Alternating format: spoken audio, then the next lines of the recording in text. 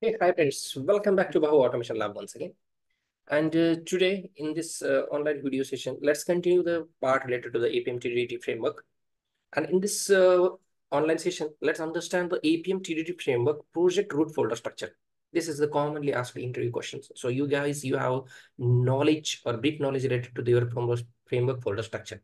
Okay, I will explain you the from the very scratch to, uh, to last how our TDD framework folder structure will look like and what are the packages and um, like classes we are using inside that pack, uh, folder structures. Okay, so let's understand from the beginning from the still last. Okay, this is a very interesting topic. So first of all, in our uh, framework TDD framework structure, we have a, like a commonly used folder. It's called as call as com.bs.resource. So com is content for commercial BS, BS is uh, you can define any name like a QA resources or BS or whatever anything. You can define it's like and resources. In inside these resources we can define the like a common class. One class is called as a best test dot java. Inside this best uh, test dot java what we are doing exactly in our uh, folder structure? So we are initializing driver exist the driver like un, like manage the waits like explicit wait and all related to the diverse commands and page factory uh, initialization. We are doing all these five concepts inside this base test okay? Because it's a commonly used class.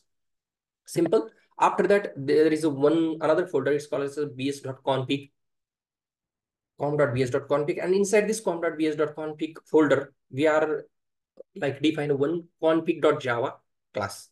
In this class we are defining the global appium driver setup simple.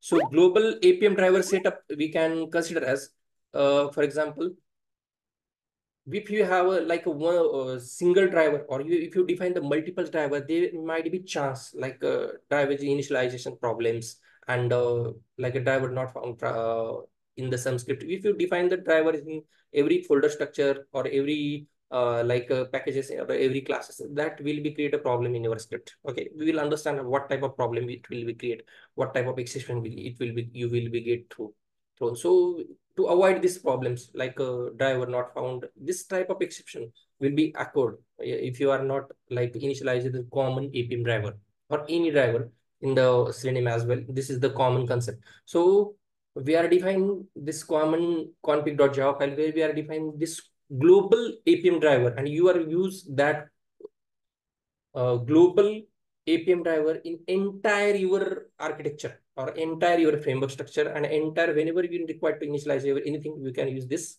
config driver itself, global driver. Okay. So next is page object, com.bs.page object uh, folder. In this, we are defined all page object. For example, here we have login page objects dot java file and product like a product page object uh, page object dot java file. So this is the uh, two commonly used like uh, object javas okay you can consider here like a, a, login page object and here also consider this file as a product page dot uh, product product page object dot java file okay so this may uh, this two classes in this uh, folder structure i am just using for the example purpose. There are two classes if you uh, define the two tests and uh, two uh, page objects. For this all two tests like here we have com.bs.test package inside that we have two test login test and product page test dot java. For initialization of this object related to this test classes we'll define this object folder. And inside this object folder we can define a method to identify the login page elements all the methods and all uh, like what we can say uh, locators xpath id and everything whatever we required we can define in this objects files and in this test classes, we can define the login functionality, like a product page functionality. And um, for example, uh, how we can access that uh, page objects from that uh, into that login test and uh, product page test uh, dot java file. Okay, everything will be defined inside this test classes. So this is next package. It's called as a common uh, commercial like com.bs.utilities in, uh, utilities in this utilities class. Okay, you can consider this.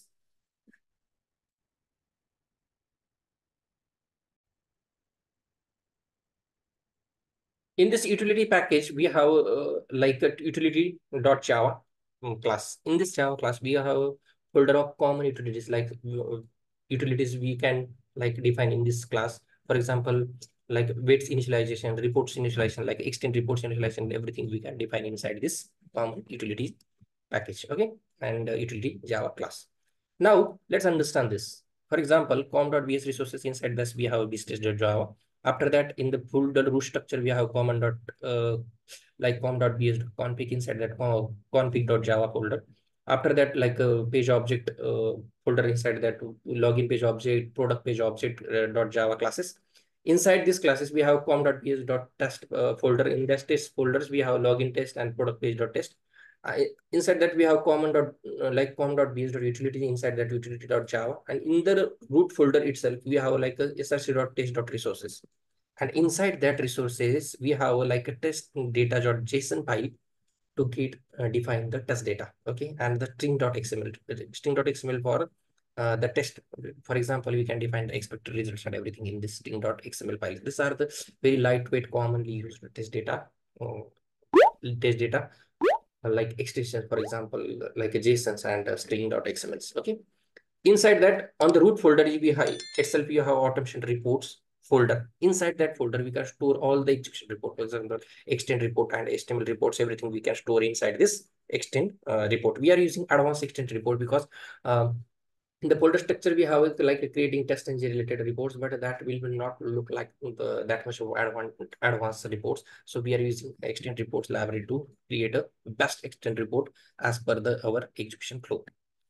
And after that we have one commonly used used folder it's as all screenshot so store it will store uh, screenshots for the all field test cases. Also we'll store the videos also like uh, recording videos and everything. We can store all screenshot and all video folder or inside the one single folder as well. Okay? And uh, in the last but not the least we have a TestNG xml file uh, the configuration file of TestNG to run our TestNG.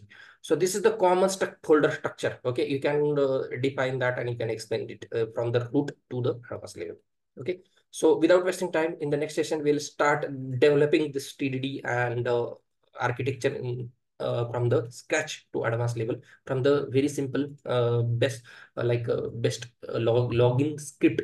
We'll start it and how we'll start to automating our like a Swagger app, e-commerce app in the next chapter. Okay, so let's continue the next chapter. Till time, have a great day. Bye bye. Take care.